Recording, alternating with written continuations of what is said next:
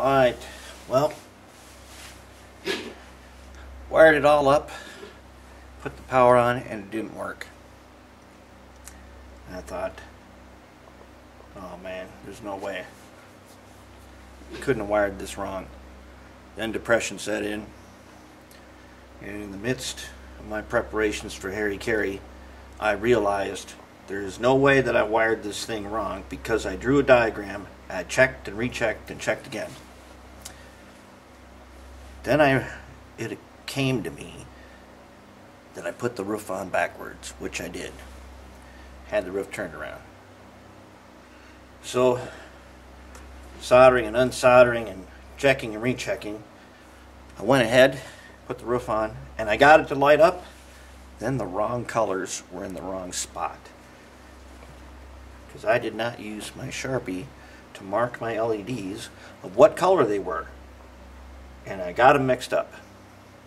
So then, some unsoldering, resoldering, got them back together. It is wired correctly, and now we are going to look at it. So, it lights up. But you can't really see that, can you? So guess what? I'm going to shut off the lights. We're going to check it in night vision. How about that? There it is. This is not a night vision yet. We're going to check it out. Wow.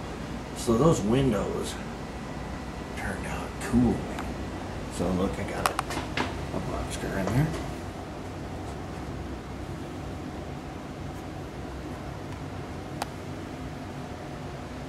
Red lights.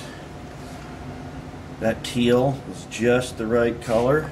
It's time for some night vision, huh? Ooh, there we go. I got the night vision spotlight on.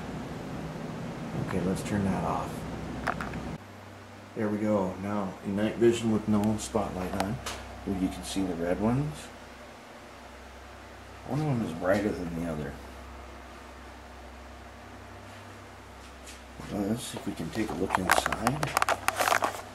We can do that. Let's see here.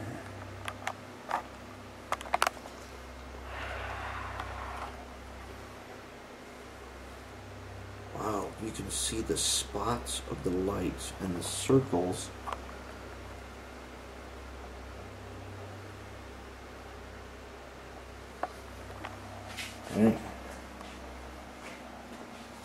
Well, for having basically no commercial parts of any kind, making this out of total scratch and waste materials, she turned out pretty good.